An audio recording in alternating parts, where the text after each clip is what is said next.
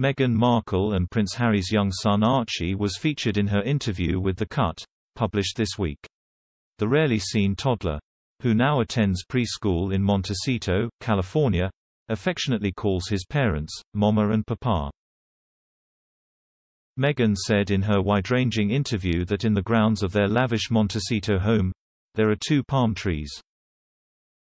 The Duchess of Sussex said the trees are connected at the bottom, and represent her and her husband Harry.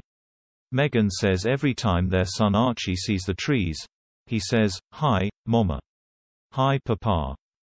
Allison P. Davies wrote in New York Magazine The Cut, Archie Harrison Mountbatten Windsor, a lively three-year-old with a shock of ginger curls identical to his father's, toddles into the room demanding, Mama, listen to his heartbeat with a wooden toy stethoscope.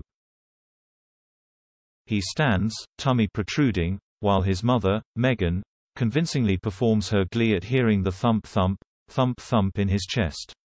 Archie giggles and, satisfied, toddles right back out again.